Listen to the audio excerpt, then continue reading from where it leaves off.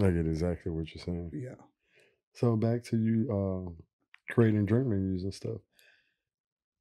As a manager, I want to know how do you create a drink menu? Do you? Because I'm thinking you just go online and you steal recipes, rename them, and different Fuck things that. like that.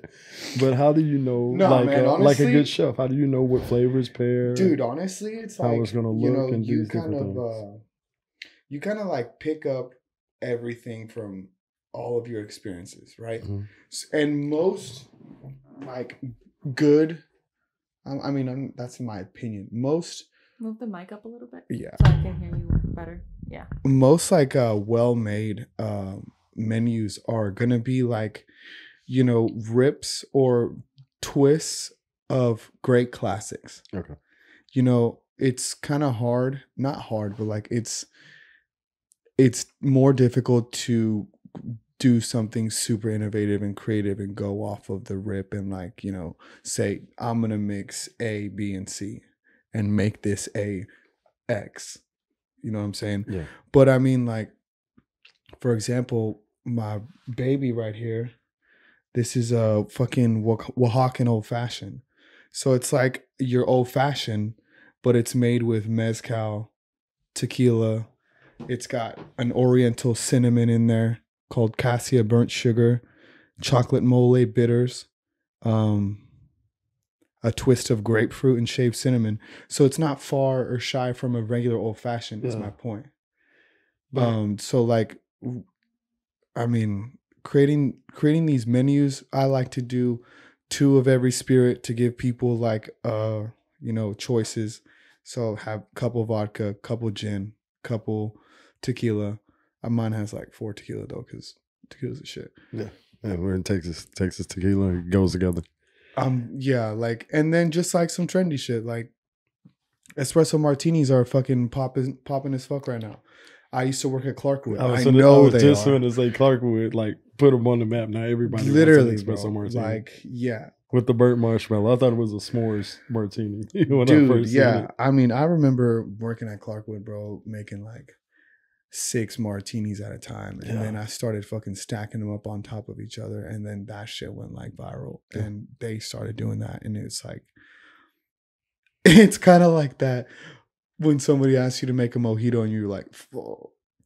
you know that espresso martini you got to put some real Yeah, vigorous shake into. You know what I'm saying?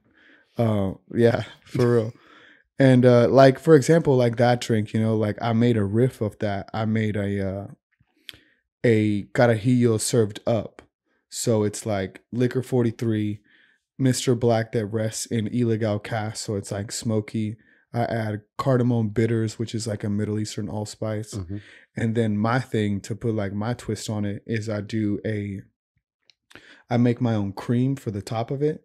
So I have this like uh CO2 powered um iSi that I put evaporated milk into, burnt sugar, salt, and Ilegal Joven, the mezcal, and I make this like smoky, fucking silky, velvety, smooth cream that goes on top. So you're like a liquor chef. Chef. Well, I mean, so like when you bounce into the, like the realm of like mixology, there's culinary aspects that just like merge to get the job done that's wanting to be done. And so some of these flavors come from like out of the blue. Like I think this will taste good with this, or these like knowledge that you know that these two flavors bounce together or off each other. That's part of it. That's part of choosing what will work. Is is having that knowledge Mhm. of like, okay, I know I can do anything with citrus. Like gin is gonna go good with lime or lemon and not lime. You know, um, that's part of it. And then like the creative part of it is just like, damn. Like I'll give you one right now. I'm doing this drink called the Looking Glass for the Speakeasy, Mhm. and it's gonna be completely clear. And so I'm mixing a bison grass vodka with a eucalyptus syrup that I'm making. And it's going to have uh, moss that sits on top of a fat ice block with uh, lime caviar from fingerling limes.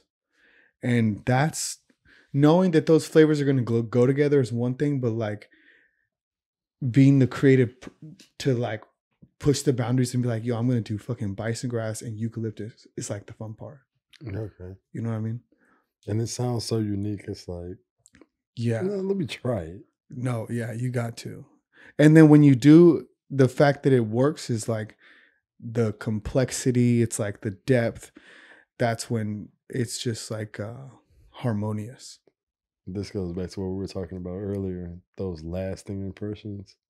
Once you make that drink menu and like you have those crowd favorites, we're gonna have to travel to get that drink. Yeah. Like somebody else is gonna definitely steal it and use knockoff uh, vodka or try to remix it, and it's not gonna taste the same at their location. Yeah. So you're gonna have to go to Ivy House to taste these. Yeah. drinks. Those part of one of the things that's probably gonna make y'all last for a long time. Yeah, man. I look forward to it. I look forward to uh everything that's already come and everything that's coming.